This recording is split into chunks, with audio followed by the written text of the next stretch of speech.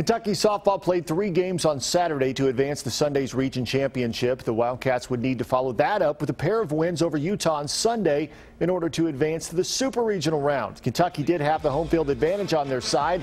A pitcher's duel in the third.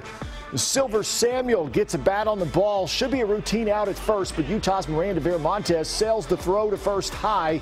That allows a run to score. Kentucky is on the board first. Same inning, Nikki Sagermann singles to left.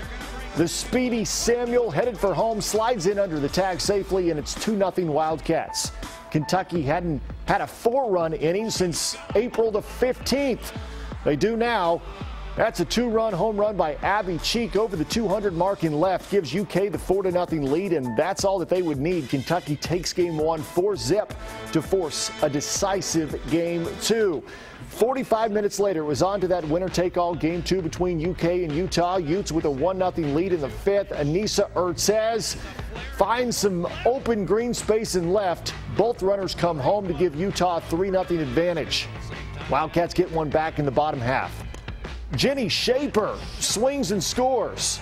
The solo home run gives Kentucky some life. Now 4 to 1 Utah in the sixth inning. How about the freshman? Katie Reed just about has a two run shot. Instead, it's going to end up a double off the wall, scoring one run to make it 4 to 2. UK would add another run in the inning to pull within one, but in the top of the seventh, Utah extends that lead.